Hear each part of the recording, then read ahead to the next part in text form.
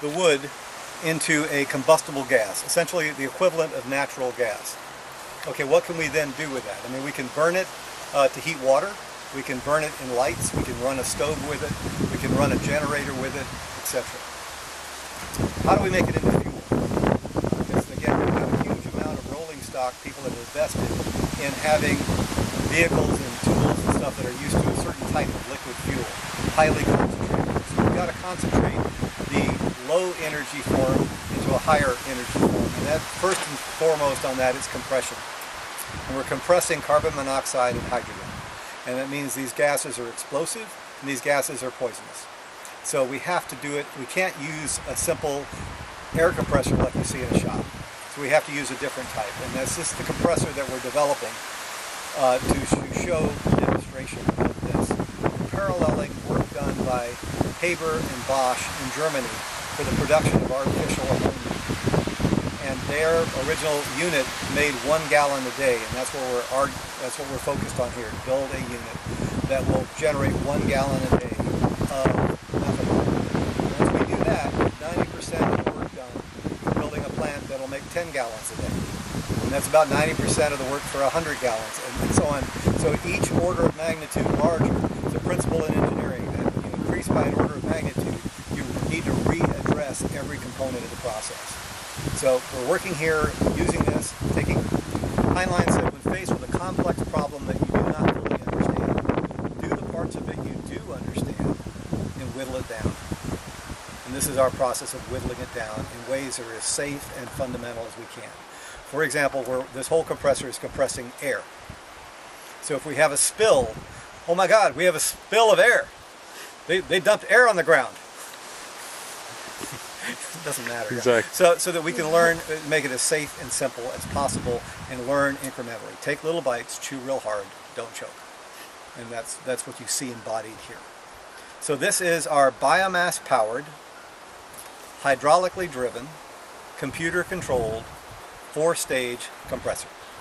This is the heart of the conversion to fuel. So once you've got a compressed gas, then you can use pressure gradients to move the gas and materials through the system, through the reactors from one end to the other. It can Hmm. all go by control computer at that point. So, can you show us how it works? I mean, we don't have to turn it on, but just give us a quick walkthrough. Well, this is this is uh, the relay controller. So the Bosch of Haber Bosch uh, knew that the reactors he was designing, because he was pushing the edge, he knew the reactors would blow up.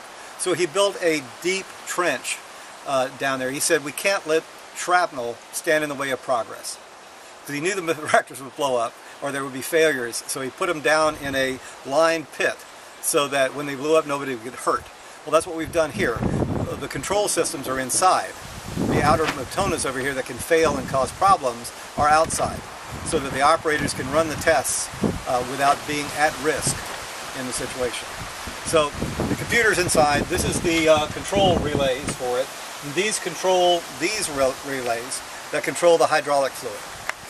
So this engine will be taking a combustible fuel and using it to power a hydraulic pump. The hydraulic pump then drives these drive cylinders, these yellow drive cylinders, which work those pneumatic cylinders, which are func- functioning as a form of a bellows. So this first stage is atmospheric. You're breathing 15 psi air right now. So that bumps it from 15 to 60 psi. The next one goes from 60 to 2, 250. Again, a 4 to 1 step each time. This one here, this is stage 3, goes from 250 to 1,000. And stage 4, which will be right in here, goes from 1,000 to 3,000.